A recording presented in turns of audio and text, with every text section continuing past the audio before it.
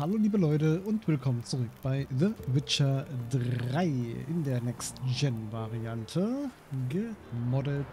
Ja, wir, ähm, wo sind wir denn überhaupt gerade? Muss mal ganz kurz überlegen. Äh, schon wieder so ein paar, ach in Erzdorf sind wir, okay, ein paar Tage her. Äh, ich kann auch leider nur diesmal eine kleine Aufnahmesession machen äh, weil ich aber bestrebt bin, äh, keine Pausen dazwischen zu haben, weil das gerade so gut läuft und keine zwei Monatspausen oder so äh, zwischen den Folgen sind, sondern nur die geplanten, äh, ja, ist ja immer im Zwei-Tages-Rhythmus Witcher. Und das möchte ich auch gern so beibehalten. Genau.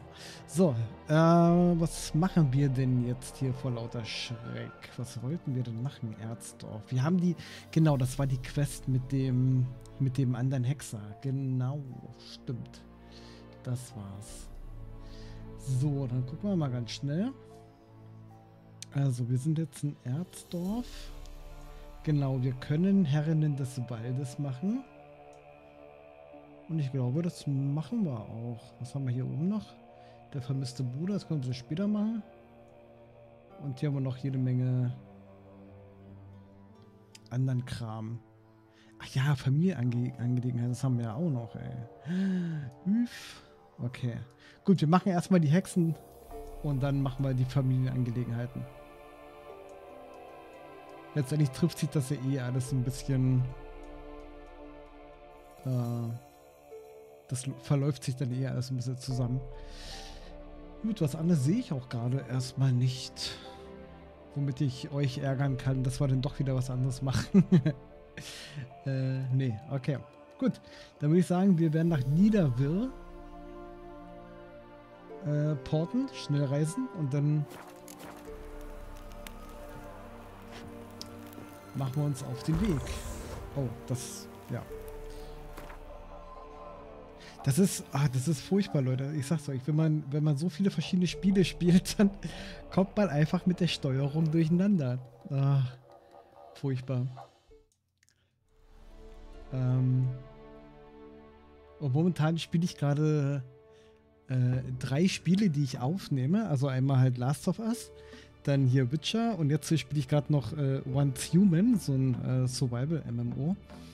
Und ähm, der, da kommt man dann doch echt durcheinander, ne? Irgendwann. Gut. Aber das kriegen wir schon hin. Okay. Wir schlagen die Richtung ein. Finde die Mumen vom Buckelsumpf. Huch. So, da kommen wir jetzt auch endlich mal ein bisschen mit der, mit der Story weiter.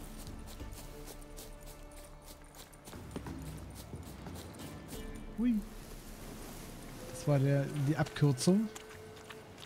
Wir waren ja schon mal im Sumpf, da haben wir schon diese, diese eine Quest gemacht. Aber jetzt sind wir quasi wirklich wieder... Oh.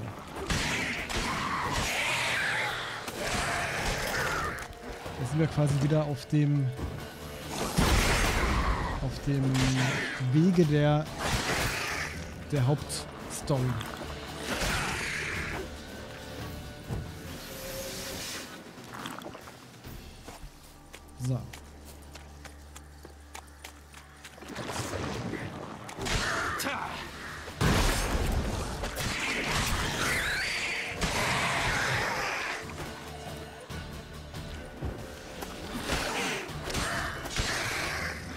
Den Schniepels hier. Ist da noch einer?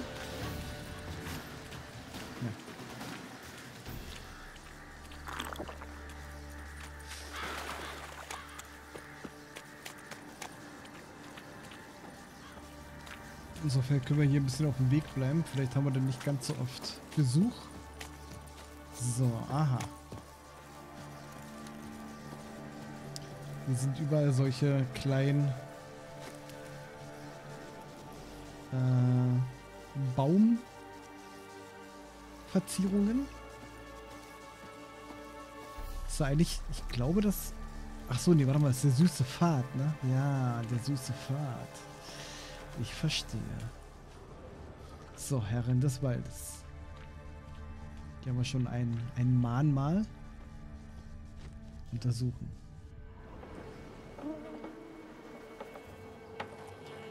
Auch mit Pfefferkuchen bestückt.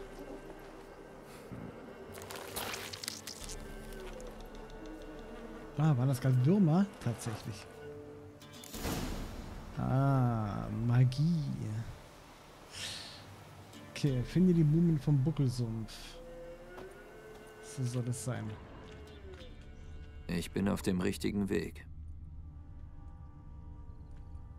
Wir machen mal ganz schnell.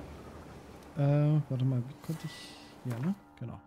Wir machen mal ganz schnell eine kleine Rast bis 6 Uhr. Damit wir auch wieder unsere Absurde und Kram auffüllen können.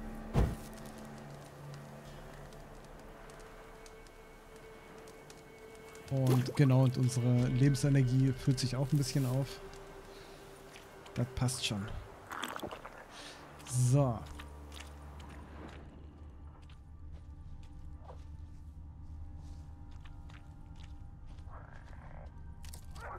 Schon ein bisschen eklig, ne? Das denkst du, das ist leckerer Pfefferkuchen und dann ist alles nur Gewürm. In Wirklichkeit. Aber ist das Ambiente nicht toll, ey? Leute, Leute, wenn man so die Frösche quaken hört und die anderen Viecher. Das ist schon echt cool. Das habe ich bisher wirklich nur bei Witcher erlebt.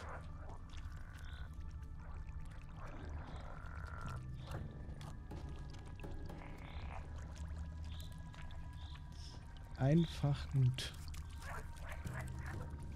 So, ja, vorne haben wir ein verlassenes altes Dörfchen, was schon fast komplett versumpft ist. So, langer Pfad.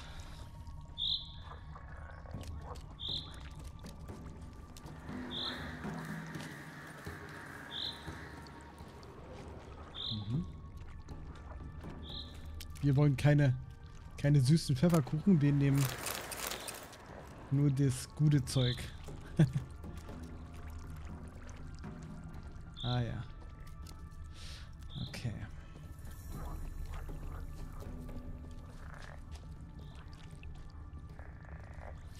So, hier vorne haben wir ein Dörfchen, was noch nicht im Wasser versunken ist.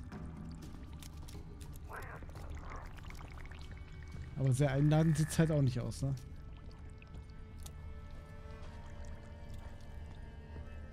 Schon diese Musik wieder, ey. Oh, oh mein Gott. ein Hund lief in die Küche und stahl dem Koch den Brei. Da nahm der Koch den Löffel und schlug den Hund entzwei. Darauf ließ er ihn bluten und zog ihm ab das Fell. Und freute sich, jetzt endlich ist Schluss mit dem Gebell. Der Koch ist ein Gemeiner, drum zahlen wir es ihm heim. Wir machen jetzt ein Feuer und kochen ihn zu Leim. Ene mene mu, das Feuer, das machst du. Interessanter Reim. Wir kennen dich nicht. Geh weg! Ich suche nach den Hexen des Buckelsumpfs. Du siehst selber wie eine Hexe aus. Die He Hexen? Im Sumpf? Wir dürfen nicht in den Sumpf. Oma erlaubt's nicht. Als mein Bruder Zemek verschwand, meinte Oma, er hätte sich im Wald verlaufen. Danach hat sie dauernd geweint. Er könnte doch noch wiederkommen. Hm. Wenn ich das gerade so sehe, ich glaube, die Kinder haben sie auch äh, in der geremaked ich glaube, die sahen in der Originalversion anders aus. Also zumindest die Haare haben sie, glaube ich, angepasst. Was macht ihr alleine hier draußen? Wir sind nicht alleine. Oma ist doch da. Aber wo seid ihr hergekommen? Wir sind Waisen. Ihr alle? Es ist Krieg, also gibt's Waisen. Wusstest du das nicht? Hm. Eine junge Frau hat sich im Sumpf verirrt. Sie hat aschblondes Haar und eine Narbe im Gesicht. Habt ihr so jemanden gesehen? Hier gibt's keine Frauen. Und was bin ich? Du bist keine Frau. Frauen haben Titten. Das stimmt. Als die Armee hier war, habe ich mal einen Alten sagen hören, versteckt die Frauen im Wald. Ihre Zicken verwirren die Soldaten. Das quält die armen Jungs. Das hat er gesagt. Wow. Oh ja, so, dieses Mädchen ist in Schwierigkeiten. Lebt ihr hier ganz alleine? Ist hier noch jemand außer euch? Wen meinst du? Jemanden, der die Frau gesehen haben könnte? Der sechsäugige Baum vielleicht? Der hat das ganze Jahr geschlafen. Aber Hansi nicht. Was soll das heißen? Was ist das für ein Geplapper? Hm? Hier ist der Zutritt verboten. Nur für Kinder nicht. Für meine Kinder. Wer bist du? Mit Schwertern wie ein Bandit. Wer ist Hansi? Hansi fraß ein kleines Kätzchen und dann kackte er vier Tätzchen. Hüte deine Zunge. Die Kinder erzählen vielleicht Geschichten. Tja, Bist du eine der Sumpfhexen? Ich hörte, dass im Buckelsumpf... Ich eine Hexe? Quatsch. Ich habe keinen Besen, keine Eule und keine Warze. Meine Nase ist hübsch. Schau. Omas Nase ist wirklich hübsch. Oh, du Schätzchen. Kinder sind so süß. Du sorgst hier für die Kinder? Sie sind meine Enkel. Oma ist lieb zu uns. Heute Abend gibt's Suppe mit Schwarte. Ein paar haben sich verlaufen. Sie fehlen mir. Weißt du, wo sie sind? Niemand weiß es. Ich rede nur mit den Kindern. Hab sie nach einer jungen Frau gefragt. Ich war ein hübsches Mädchen mit einem langen Zopf. Hat meine Mutter geflochten. Ich hatte Kleider mit Blumen drauf. Vielleicht hast du sie gesehen. Jung, aschblondes Haar. Deine Verlobte? Meine Tochter.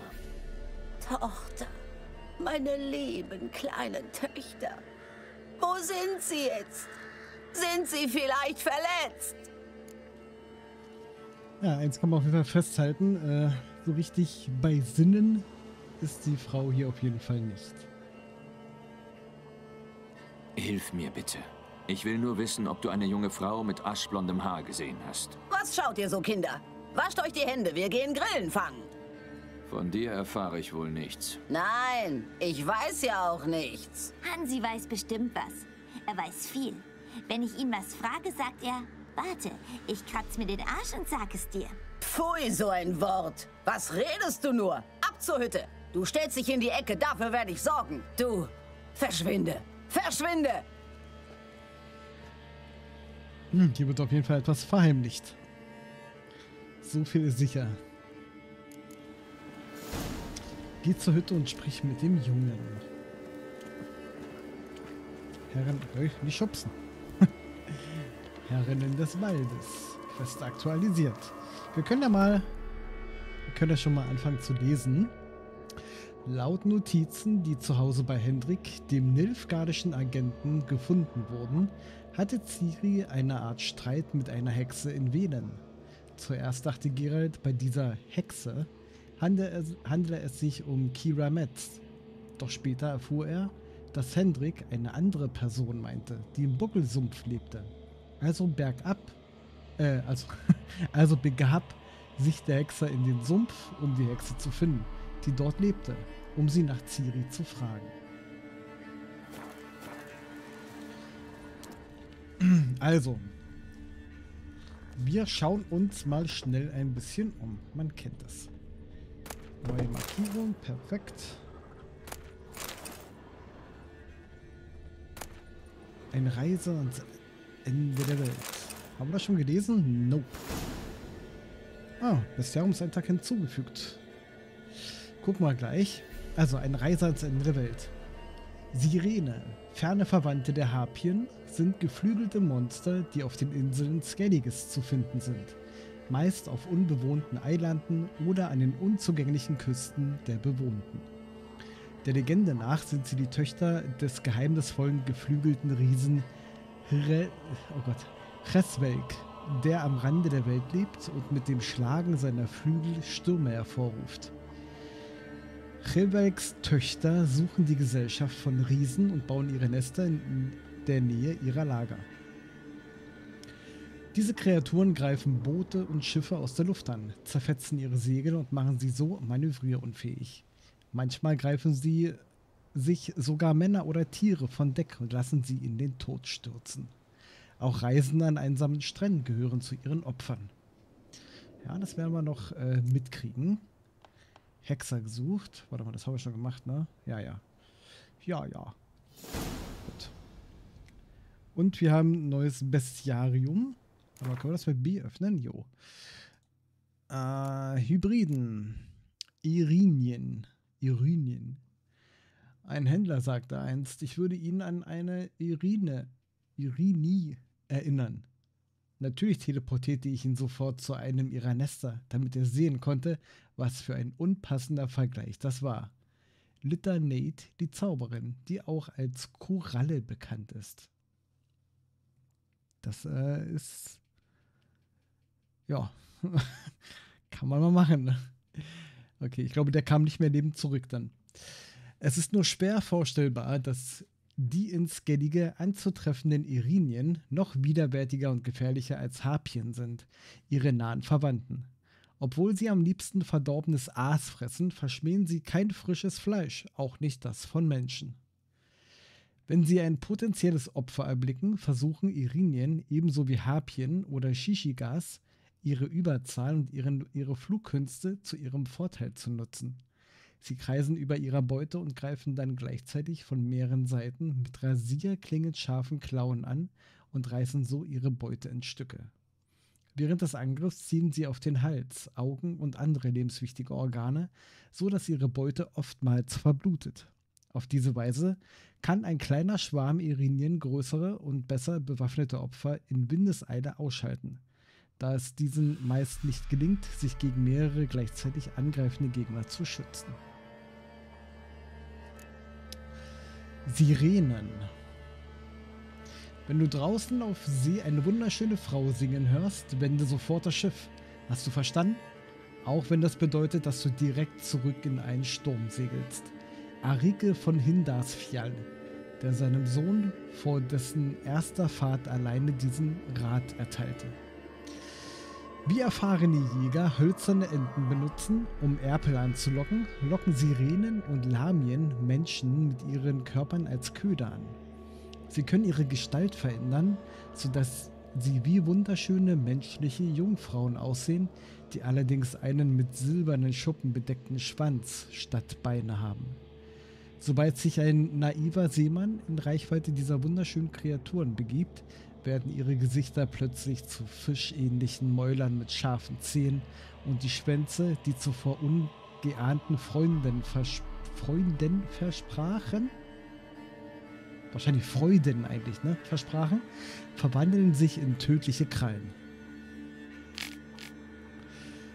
Einer Legende nach sollen Sirenen und Lamien Menschen gegenüber einst freundlich gewogen gewesen sein und sind sogar in einigen seltenen Fällen auf das unbeholfene Werben von Seeleuten eingegangen. Heute sind sie jedoch eine tödliche Gefahr. Vielleicht haben sie die zahlreichen Entführungen frustrierter Matrosen verärgert.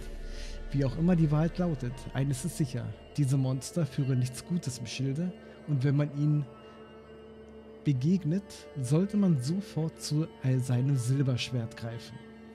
Sirenen und Lamien, die gefährlicheren Cousinen der Sirenen, jagen normalerweise in Schwärmen und machen sich ihre zahlenmäßige Überlegenheit wie auch ihre Fähigkeit zunutze, sich mühelos durch Wasser und Luft zu bewegen. An Land sind sie jedoch so gut wie schutzlos und es ist ratsam, ihre flossenähnlichen Flügel zu zerstören und sie dadurch zur Landung zu zwingen.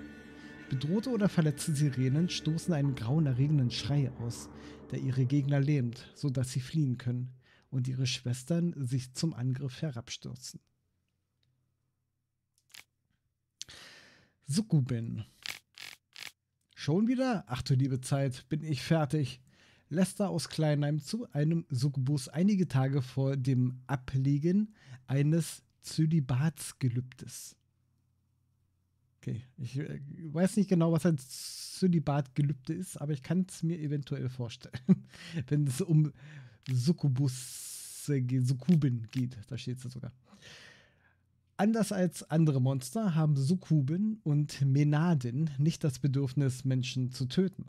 Sie trinken kein Menschenblut und wollen normalerweise nichts Böses.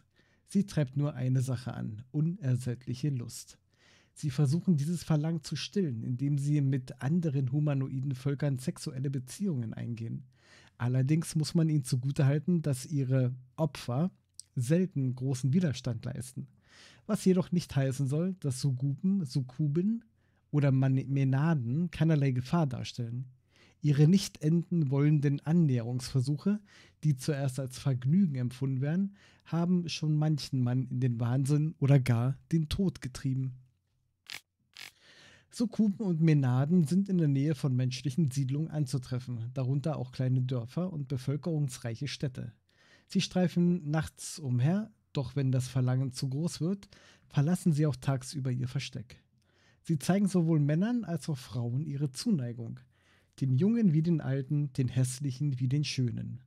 Einige bevorzugen Pastoren und andere geistliche Männer, deren Verführung sie als eine Art Spiel betrachten. Obwohl Sukuben von Natur aus friedfertig sind, können sie sich vehement verteidigen, wenn sie zum Kampf gezwungen werden. Man sollte sie sich nicht von ihrem feinen Äußeren täuschen lassen. Unter der Samthaut ihrer Arme liegen stahlharte Muskeln verborgen und ein Tritt ihrer ziegenartigen Hinterbeine oder ein Stoß ihrer dicken Hörner können Knochen leicht zerbrechen. Ach ja, ich bin noch nie einer Succubus begegnet. das hätte ich gemerkt. Naja, gut. Okay. Interessant, das haben wir da auch mal ein bisschen äh, näher gelesen. Ah, das macht mir Spaß in Witcher da ein bisschen äh, in Ruhe die ganzen Einträge zu lesen und ja, das habe ich vorher nie so richtig gemacht. So, die Kinder spielen da hinten. Äh, wir gucken mal schnell noch hier drüben nach.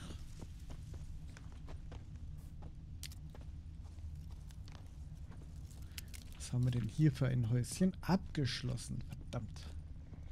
Okay. Oh, war der Kleiner? Aufpassen. Nicht, dass du mich hier abschießt. So, wir gehen mal hier rein.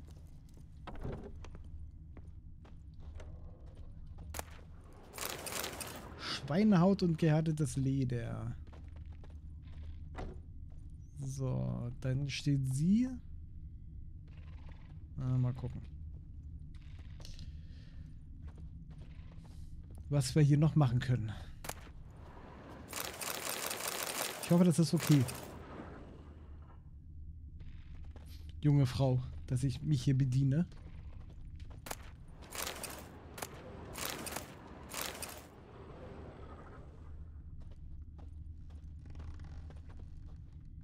Störe ich? Der arme Junge.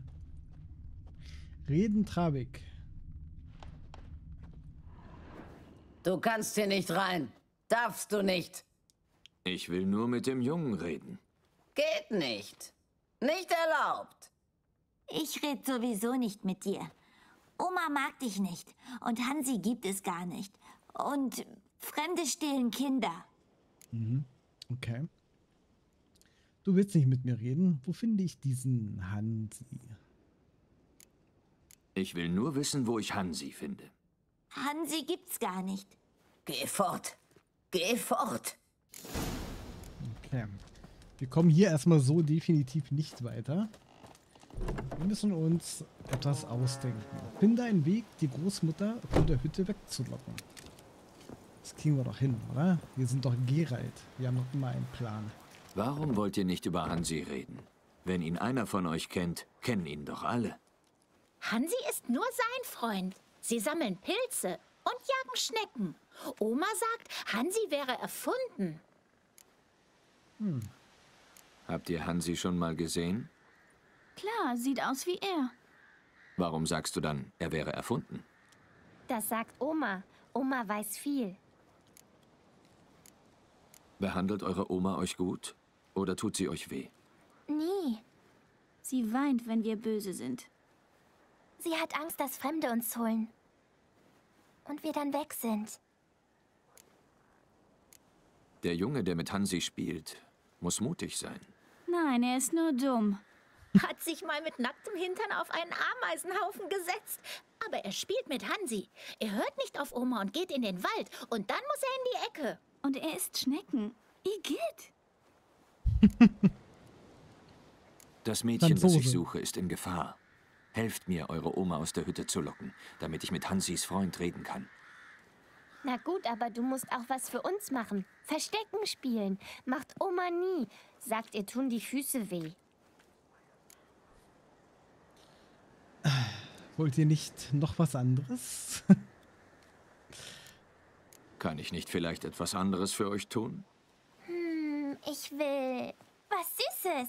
Ich auch. Oder Obst. Gib uns was Süßes, dann helfen wir dir. Hier, ein paar Süßigkeiten. Aha, cool. Ich habe sonst immer Verstecke gespielt. Sowas habe ich noch nie gegessen. Cool. Auch mal schön, mal was anderes gemacht zu haben. Oma, eine Hummel hat Jagna in den Arsch gebissen. Oma, komm! Gar nicht auffällig, Gerald.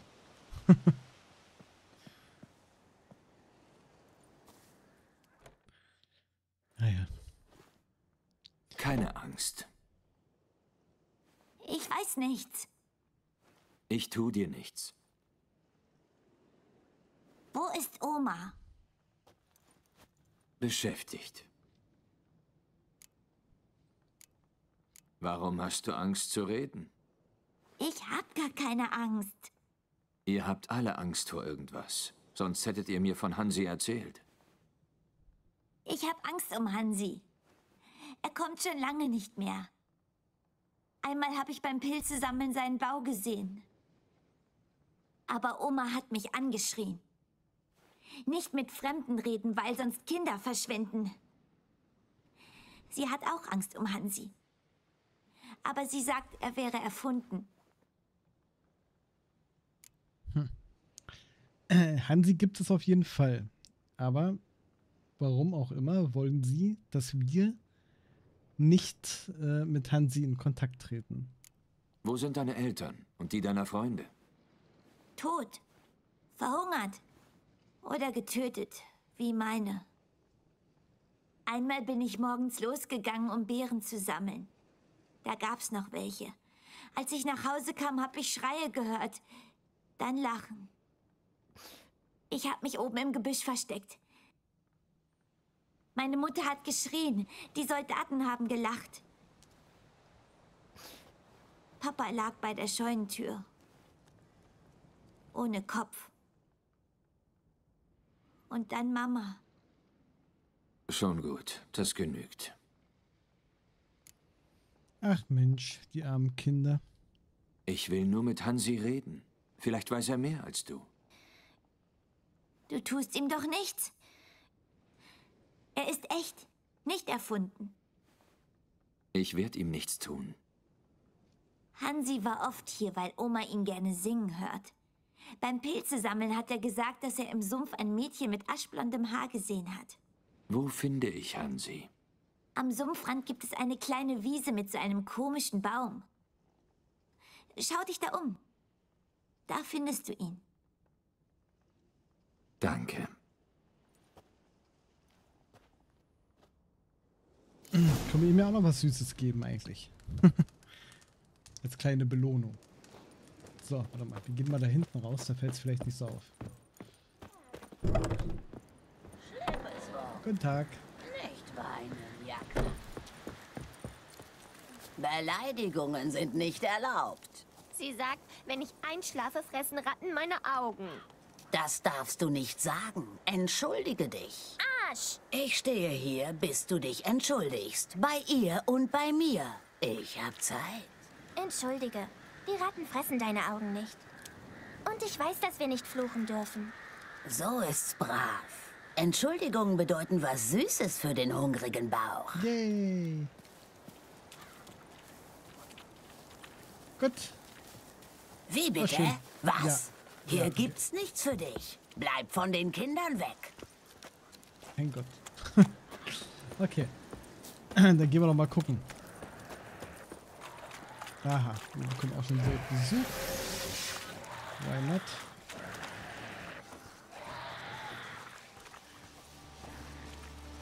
Okay, aber bekommen wir die irgendwie vielleicht einzeln?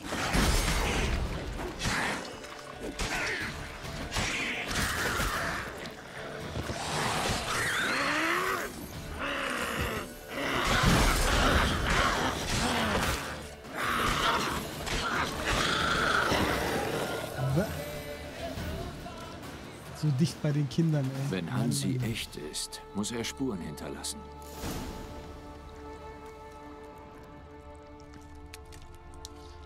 So, hier haben wir doch schon was. Kleine Fußabdrücke. Kleiner Fußabdruck. Hansi ist hier lang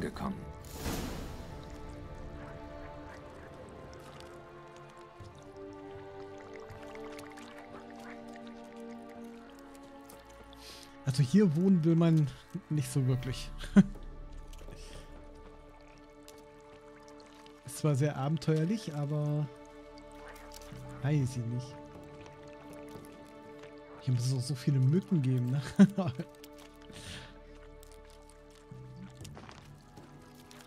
naja, ich glaube, wenn Mücken das einzige Problem sind, dann dann geht's ja noch, ne? Aber wenn ich mich hier so umschaue, was hier so haust, äh, sind Mücken das kleinste Problem. so.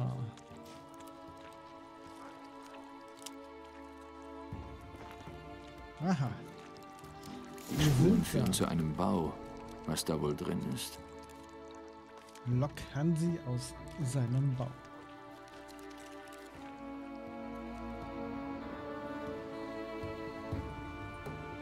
Hansi?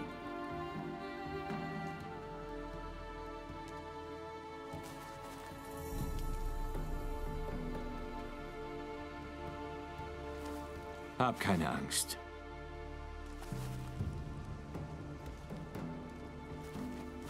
Auch sehr cool gemacht hier durch das Remake. Es sieht viel Bist du detaillierter ein aus. Booker? Ein Lutin? Ah, ein Göttling. Ihr seid selten geworden. Ich suche ein Mädchen mit aschblondem Haar. Hast du sie gesehen? Sag mir alles von Anfang an. Wo hast du sie gesehen? Was hat sie gemacht? Es ist wichtig.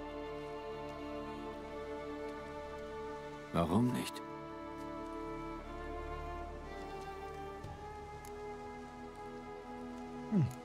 Kennst du die Kinder von der Lichtung gut? Keine Angst. Ich tu keinem von ihnen was. Du lebst hier? Ganz stolz. Gemütlich hier. Ein guter Platz. Du weißt sicher, was so alles im Sumpf passiert. Machen Monster in der Nachbarschaft dir nichts aus?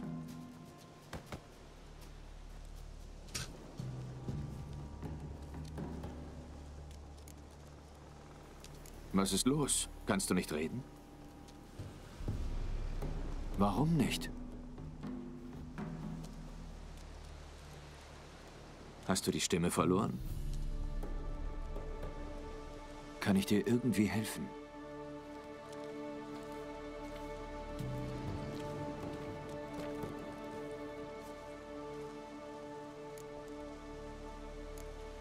Ich verstehe dich nicht. Kannst du es mir irgendwie erklären?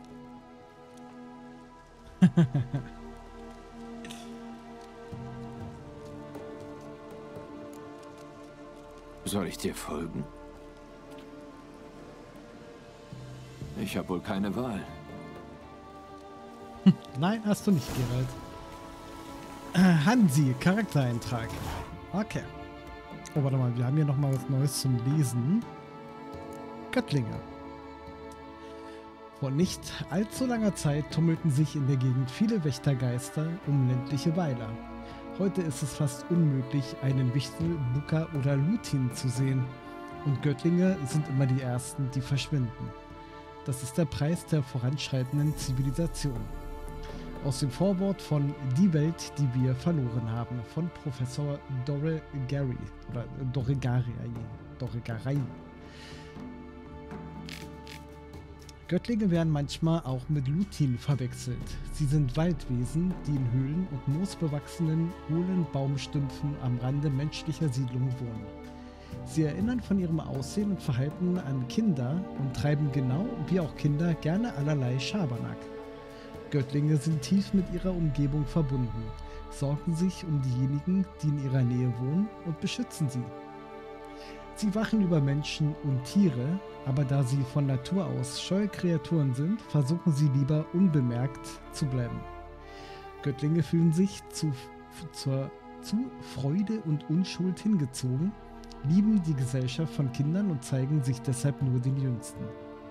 Diese fleißigen und schlauen Wesen verrichten gerne kleine Dienste für diejenigen, die unter ihrem Schutz stehen und bitten nur um Respekt und Bezahlung in Form von Lebensmitteln oder ausrangierten Werkzeug. Göttlinge schätzen den Frieden und die Ruhe. Wenn in einem Dorf, über das ein Göttling wacht, irgendwann zu viele Menschen leben oder die Bevölkerung die alten Bräuche vergessen hat, verlässt er seinen Bau für immer und zieht an einen anderen Ort.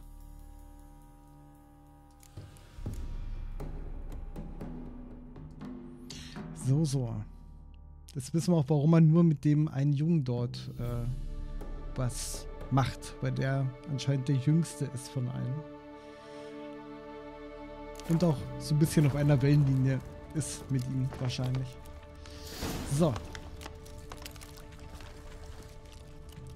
Achso, warte mal, wir haben ja noch. Äh, sorry, warte mal. Wir haben ja noch den Charaktereintrag gehabt. Charaktere. Hansi. Als die Kinder auf der Lichtung im Sumpf Geralt zum ersten Mal von Hansi erzählten, hatte der Hexer allen Grund anzunehmen, dass es eine solche Person nicht gab. Es war kaum zu glauben, dass jemand an einem so unwirklichen Ort wohnen konnte, ohne sofort von Ertrunkenen oder Wasserweibern gefressen zu werden. Deshalb hielt Geralt Hansi lediglich für die Erfindung von kindlichen Fantasien, für einen imaginären Freund der einsamen Weisen. Allerdings wusste er aus jahrelanger Erfahrung, dass er keine noch so kleine Spur ignorieren durfte. Deshalb machte er sich im nahegelegenen Sumpf auf die Suche nach Hansi. Wie sich herausstellte, hatten die Waisenkinder nicht gelogen. Hansi gab es wirklich. Es war kein Menschenkind, sondern ein Göttling und gehörte zu einem der seltenen Völker, die in der Wildnis des Festlands leben. Leider hatte Hansi aus Gründen, die er nicht erklären konnte, seine Stimme verloren und konnte deshalb Geralds Fragen nicht beantworten. Dann haben wir noch Oma. In Kriegszeiten trifft man viele Leute, die eine grausame Schicksal erlitten haben.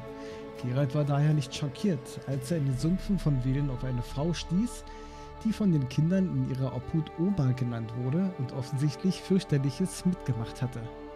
Welche Schatten auch auf ihr lasteten, um die Weisen kümmerte, sich liebe, kümmerte sie sich liebevoll und sorgsam. Renald, stimmt, den haben wir noch gar nicht gelesen gehabt, ne? Beim letzten Mal. Renalds Geschichte ist eine tragische. Ein junger Hexer, der in den Anfangsjahren der Wolfsschule ausgebildet wurde, der voller Neugier und Hilfsbereitschaft aufbrach, um die Welt zu erkunden und der letztendlich einen Auftrag annahm, den er nicht überleben würde. Reinhard wurde von einem roten Miasma besessen und von eben jenen Priestern des ewigen Feuers, die ihn angeheuert hatten, in den Minen der Teufelsgrube eingeschlossen, wo er jedoch unglaubliche Stärke bewies und dem Willen des Geistes widerstand. Er sparte, sperrte sich selbst und das Miasma in einer Salzhöhle ein, wo er verblieb, während seine Lebenskraft langsam in Dunkelheit und Trauer versickerte. Der Pestgeist sorgte dafür, dass der Körper des Hexers nicht starb, während Renald sich an die langsam verblassende Hoffnung klammerte, dass sein geliebter Freund ihn eines Tages retten würde. Doch Tage wurden zu Wochen, zu Jahren, zu Jahrhunderten.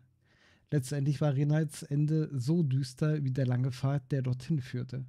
Geralt besiegte das rote Miasma und verbrannte die Leiche des Hexers, wodurch sein verbitterter Geist gezwungen wurde, die Welt zu verlassen. So ist es gewesen. Okay, so, jetzt aber zurück zu Hansi und seiner Stimme. Und wir haben da vorne Besuch. Verdammt.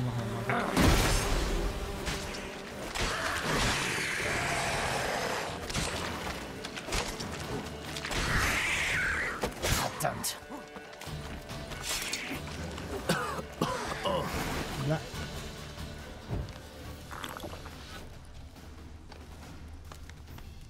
Äh, Hansi, wo bist du? Da hinten. Da. Bleib dicht bei mir. Okay, da lang.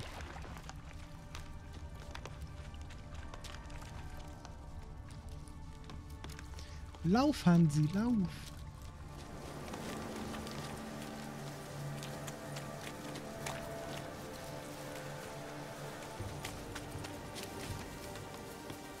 Guck mal, jetzt sind wir ja beim... Warte mal. Ganz kurz mal. Hier ist so ein... Ich weiß gar nicht, ob ich hier schon mal war. Das muss ich mal kurz abchecken, ja. Bevor wir Hansi gleich retten. Da drinnen brennt sogar Licht. Sieht sogar recht wohnt nicht da drin aus. Jetzt nicht mehr. Abgeschlossen. Okay. Na gut. Hat auf jeden Fall hier auch so eine so eine Statue. Okay, Hansi, zurück zu deinem Problem. Hier also? Ich sehe mich mal um.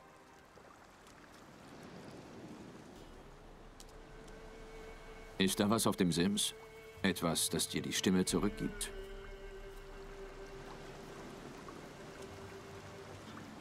Dann muss ich wohl hochklettern. Aha. Oh, und da ist der Wächter zu der Stimme. So, warte mal, kommen wir hier hoch? Nee, ne, ich glaube, wir müssen da ein bisschen außen rum. Ah, wobei. Nee, doch nicht. Nee, doch nicht.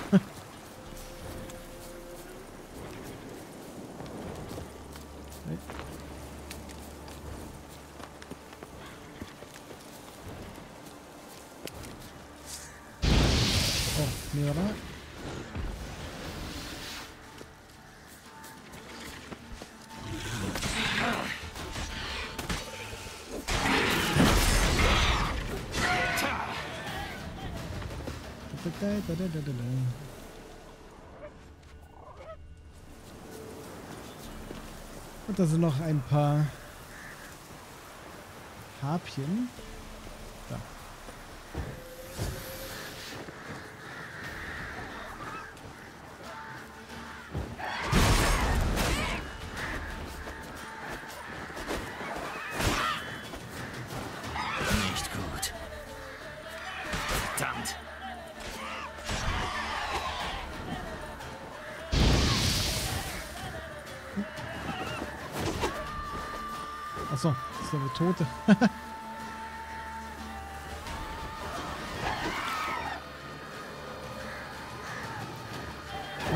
Und nicht die Fackel rausholen. Ja gut, egal. So. Ich wollte eigentlich die, die Armbrust rausholen.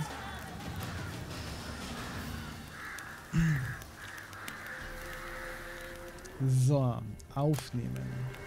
Versiegelte Vielleicht hat er Flasche diese Flasche gemeint. und eine Rabenfeder. Mhm.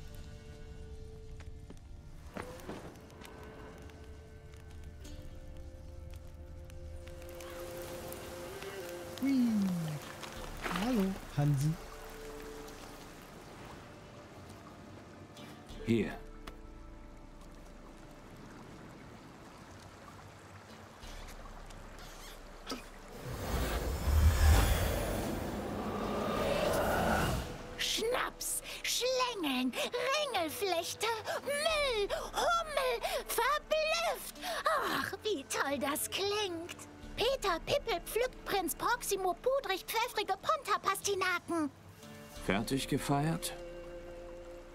Meine Lieblingswörter.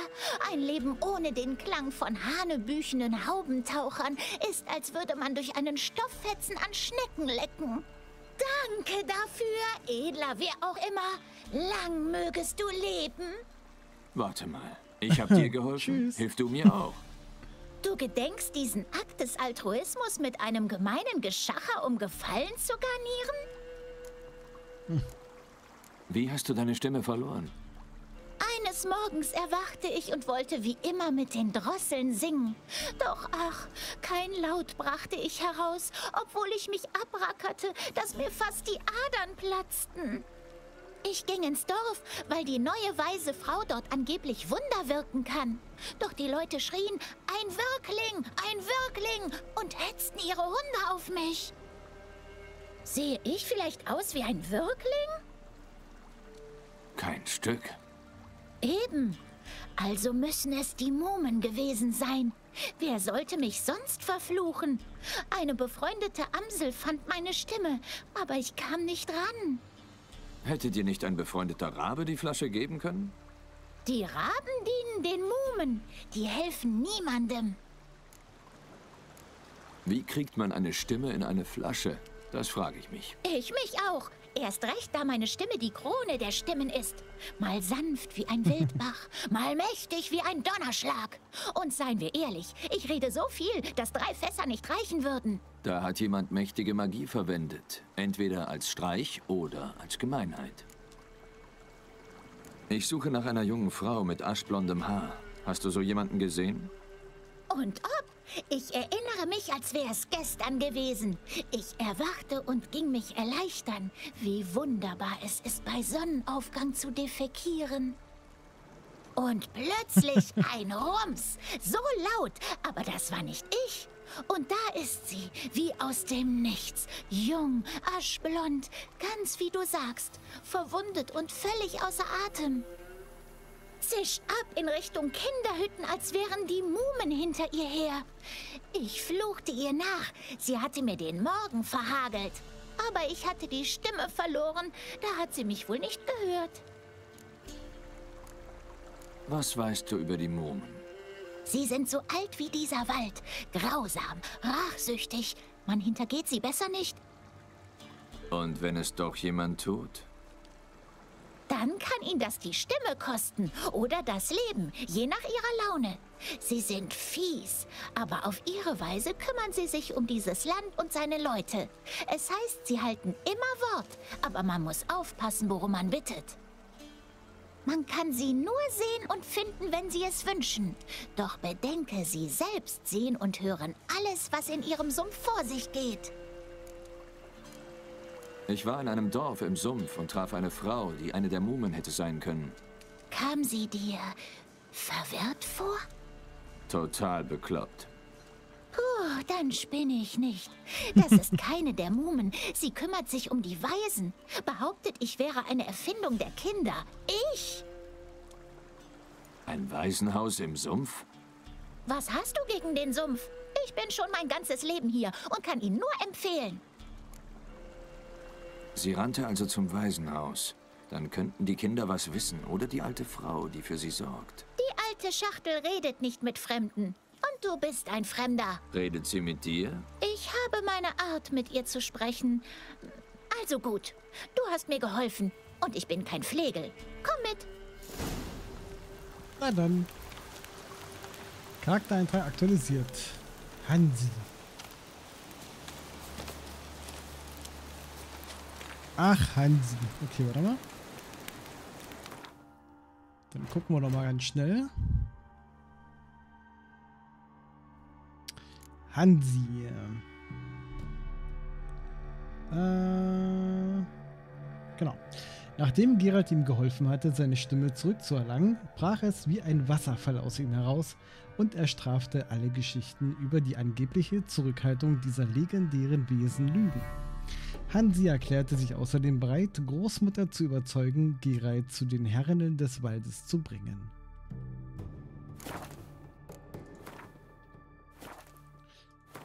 Äh, so.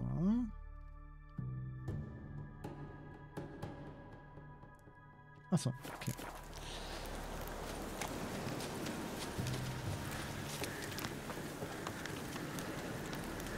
Linke Füße, Hansi. Linke Füße. Oh, da vorne haben wir schon wieder. Vorsicht! Vorsicht! Das ist nicht dein Tag. Verdammt.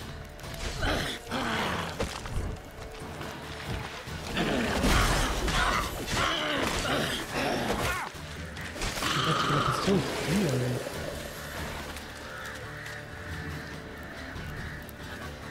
Genau noch, oder?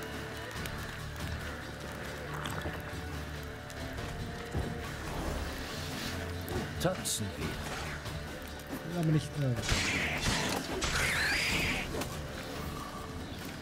Okay.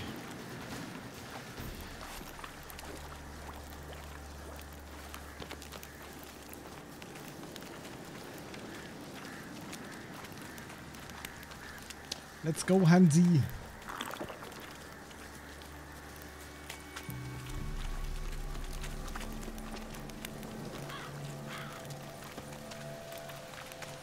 Da vorne ist das Dörfchen. Sehr gut. Ah, mal gucken, ob wir die alte Dame jetzt überzeugen können. Dass er uns doch ein paar Informationen geben kann. Die Luft ist rein, keine Mume in Sicht. Ich muss der Oma was vorsingen, das beruhigt sie.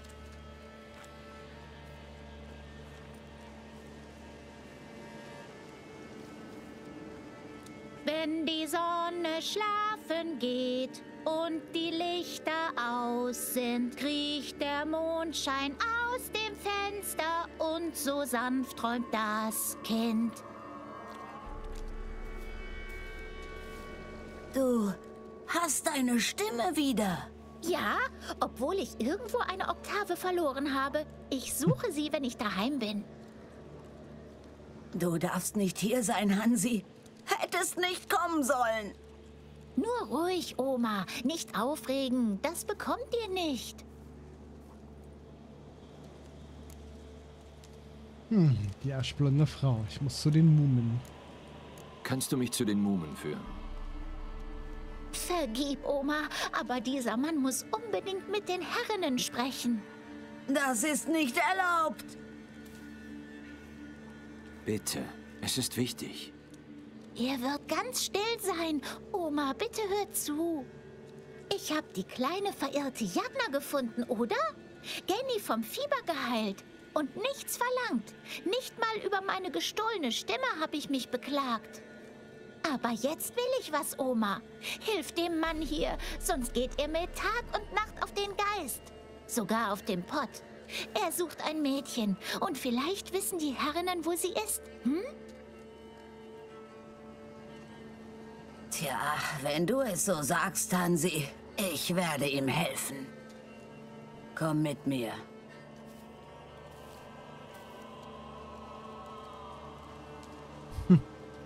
Dankeschön.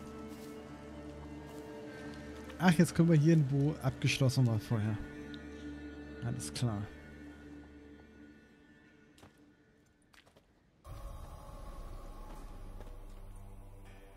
Hansi ist ein guter Junge. Aber die Herrinnen mögen ihn nicht. Nein, sie nennen ihn eine miese Kreatur. Wer sind die Frauen auf dem Wandteppich? Das sind die Herrinnen. Meisterinnen, hört mein demütiges Flehen. Seht einen erbärmlichen Wurm vor euch stehen.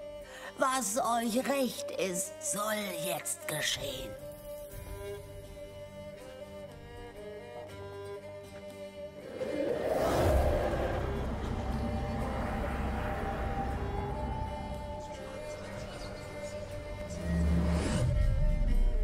Du wagst es, uns zu stören, Weib?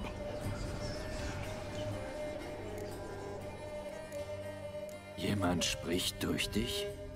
Hübsch und auch noch schlau. Wo hast du dich versteckt, Jungchen? Ihr seid also die drei Mumen. Die Mumen? Woher nimmst du ein so garstiges Wort, junger Mann? Die Dorfschnepfen haben wieder getratscht. Unendlich ist die Kleinlichkeit der Menschen. Sehen wir vielleicht wie Mumen aus? Na los, fass mich an, Weißhaariger. Wo es dir am besten gefällt.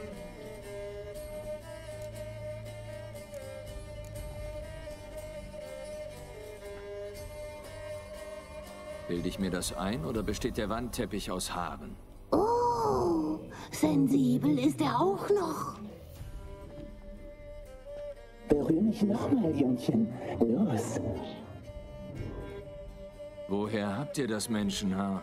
Noch nie von dem Beschnitt gehört?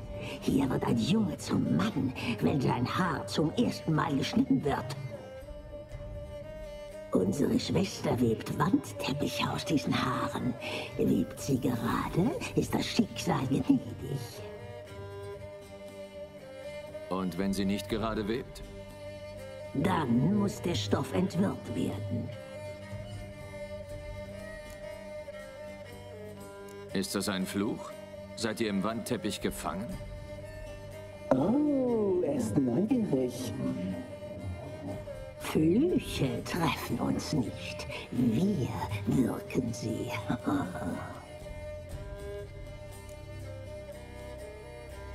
Ich suche eine junge Frau mit aschblondem Haar. Ihr habt sie gesehen. Wo ist sie? oh, diese Ungeduld. Vielleicht mag er nur aschblonde Mädchen. Die junge Frau. Sie ist meine Ziehtochter. Wen soll das interessieren, wenn sie wohlgeformt ist? Mich. Ah, ein Wunderpunkt. Er blubbert wie Bier mit frischer Hefe. Oh, genau so mag ich sie. Ihr habt sie gesehen. Verschweigt mir nichts. Wie ungehobelt.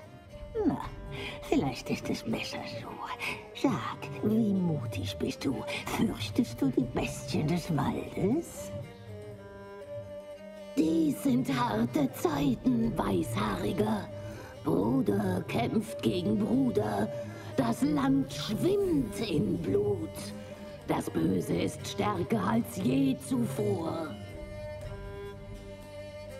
Eine dunkle Macht ist bei Niederwir erschienen. Sie lebt von Hass und Verachtung. Zerstöre sie, dann erzählen wir dir, was wir über die aschblonde Frau wissen. Dunkle Macht. Da braucht ihr einen Ritter oder Hexenjäger. Keinen Hexer. Der Dorfälteste von Niederwirr wird dir alles erzählen. Lass dich von ihm bezahlen, wenn du die Aufgabe erfüllt hast. Unsere Dienerin bringt dir jetzt den Dolch. Einen Dolch? Wozu? Wenn der Dorfälteste den Dolch sieht, weiß er, dass wir dich geschickt haben und hilft dir. Ich rede mit dem Dorfältesten, aber versprechen kann ich nichts. Los, Weib, gib dem jungen Mann den Dolch. Und du, Weißhaariger, kehre erst zurück, wenn du die Aufgabe erfüllt hast.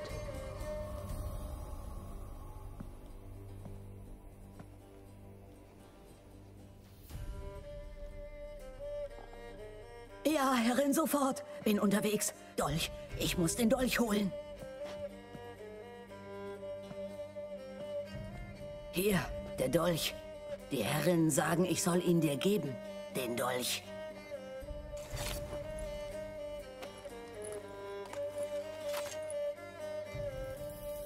Leg den Lohn des Dorfältesten auf den Stein.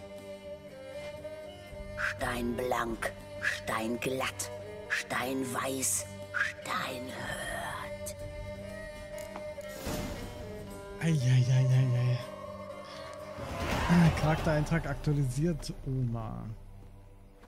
Und wir sind Stufe 70. Und diese Mumin, naja, mal sehen, was aus diesem Bündnis noch wird. Äh, Oma, also auf jeden Fall können die uns ja äh, weiterhelfen, so wie es aussieht. Was unsere Suche nach Ciri betrifft. Oder angeht. So.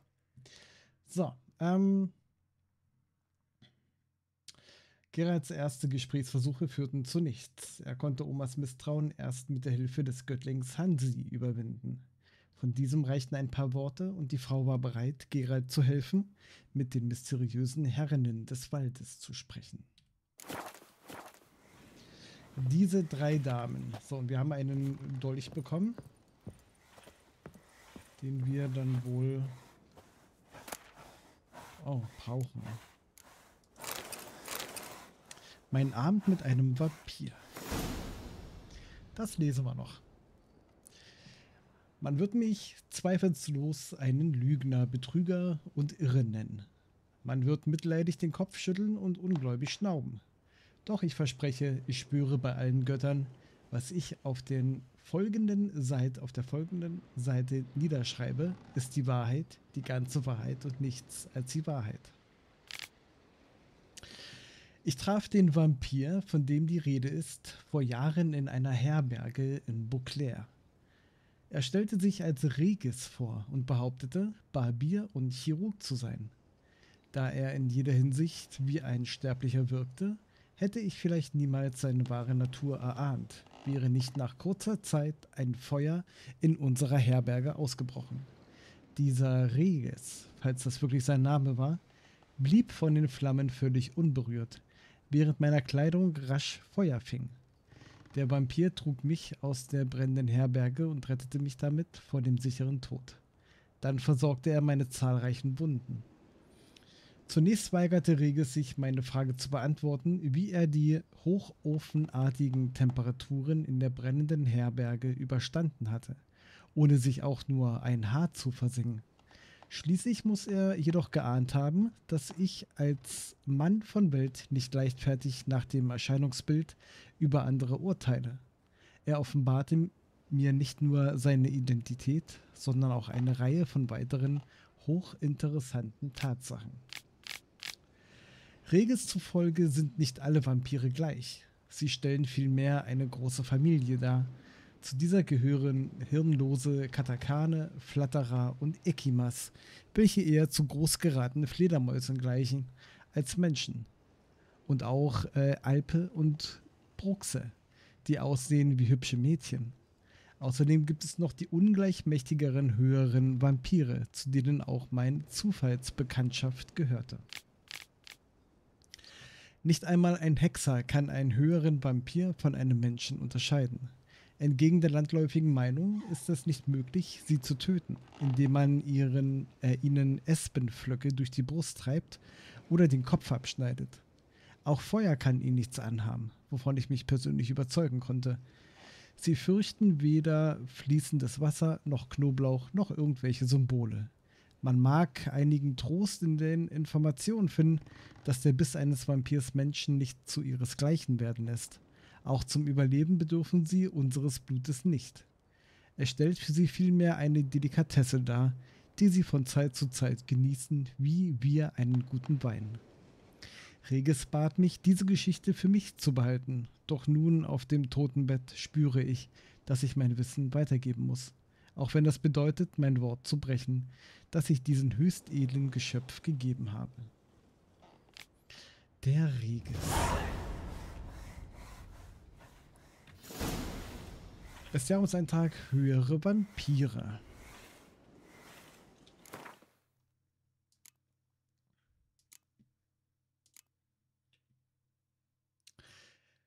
Menschen, zumindest die höflichen, nennen mich ein Monster, ein blutdurstige Missgeburt. Emil Reges, höherer Vampir. Nur der Durst nach Blut verbindet höhere Vampire mit ihren entfernten und sehr viel primitiveren Verwandten, den Ikimen, Alps, Katakanen und ähnlichen Wesen. Höhere Vampire sind Menschen tatsächlich sehr viel ähnlicher als diese Fledermausartigen Blutsauger. Sie gleichen uns nicht nur in ihrem Aussehen, sondern teilen auch unsere Intelligenz und Vorlieben. Dies bedeutet, dass sie nicht in weit entfernten Ländern, äh, Wäldern kauern oder sich in den Schatten verstecken. Im Gegenteil, sie mögen Städte besonders gern, wo sie ein täuschend normales Leben führen. Selbst Hacker, Hexer sind nicht in der Lage, sie sofort zu erkennen, da ihr Medaillon bei der Anwesenheit höherer Vampire vollkommen ruhig bleibt. Trotz aller Ähnlichkeiten dürfen wir einen grundlegenden Unterschied nicht vergessen. Anders als Menschen sind höhere Vampire unsterblich. Diejenigen, die ihnen im Kampf gegenüberstanden und überlebt haben, lassen sich an einer Hand abzählen. Hexer können von Glück sagen, dass höhere Vampire extrem selten sind und nicht allen stellen eine Gefahr für die Menschen dar. Obwohl sie Blut mögen, mögen sie es nicht, äh, müssen sie es nicht trinken, um zu überleben. Einige höhere Vampire trinken überhaupt kein Menschenblut und tun niemandem etwas zuleide. Andere geben ihrem Verlangen jedoch nach. Ein Hexer, der mutig gegen einen höheren Vampir kämpft, darf nicht vergessen, dass er einem Monster gegenübersteht, das über unglaubliche Kräfte verfügt und Menschen und Tiere beeinflussen, sich unsichtbar machen und in eine riesige Fledermaus verwandeln kann. Außerdem ist es nahezu unsterblich. Mit anderen Worten, selbst ein erfahrener Monsterjäger sollte es sich zweimal überlegen, einen Auftrag anzunehmen, bei dem eine solche Kreatur das Ziel ist, selbst wenn ihm dafür ein halbes Königreich und die Hand einer Prinzessin versprochen wird. Also klingt nach einem der schwersten Gegner überhaupt, falls es mal dazu kommen sollte. Interesting. Okay. So, haben wir noch irgendwas? Ah ja, hier drüben haben wir noch ein paar. Bisschen Be Beerenfett und eine. Okay.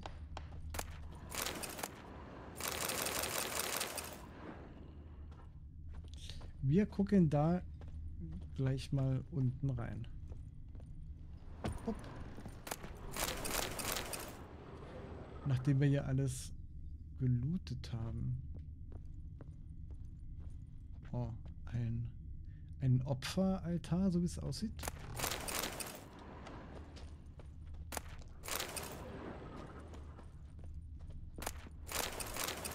Und Skelette, oder meint das Kinderskelette? Erstmal Ohren nehmen. Weiß nicht. Könnten Kinder sein, ne? Bin mir aber auch nicht so sicher. Na gut. Was hängt hier? Kann man nicht so richtig... Kann man nicht so richtig sehen, ne, was das sein soll, was hier hängt. Irgendwas Fleischiges auf jeden Fall. Okay. Achso. Gut, sprich mit dem Dorfältesten von Wiederwehr über das Problem im Dorf. Das machen wir so gleich, aber erst für euch in der nächsten Folge. Genau. Also, ich bedanke mich fürs Zusehen und bis zum nächsten Mal bei The Witcher. Tschüss.